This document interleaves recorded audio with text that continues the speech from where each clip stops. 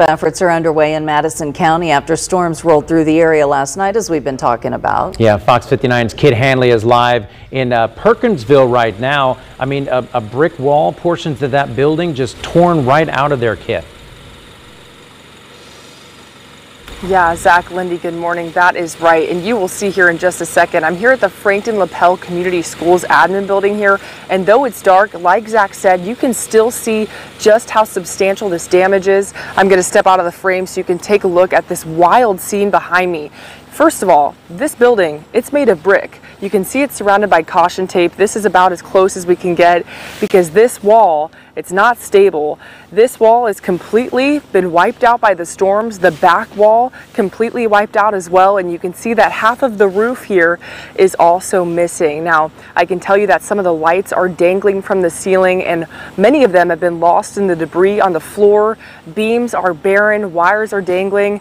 And I took a closer look in just during the break of our last hit. And I can tell you that this is actually the gymnasium of the admin building. One of the basketball goals and the scoreboard still stands, but the other basketball goal, that has been lost in the debris somewhere. Now here in the parking lot, I can tell you there's downed branches and debris.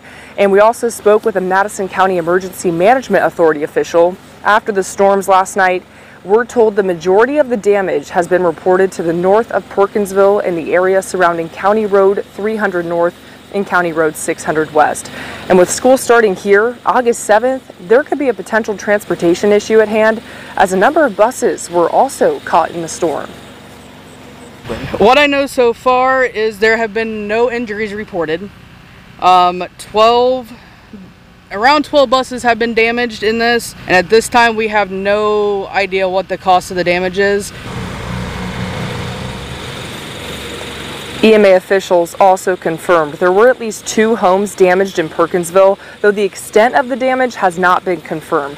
Now, Lindy, Zach, again, there were no injuries reported here, so that's the good news in all of this. But I did forget to mention here in my intro, over here to the left, all of the school buses are also here on the property. There's damage here to the fence, and we know now that there's been damage to about a dozen of these school buses. So it could be a problem here August 7th. Just not a good way to get the school started off. For now, reporting live in Perkinsville, Kit Hanley, Fox 59 News. And still assessing that damage there. Kit, thanks so much. And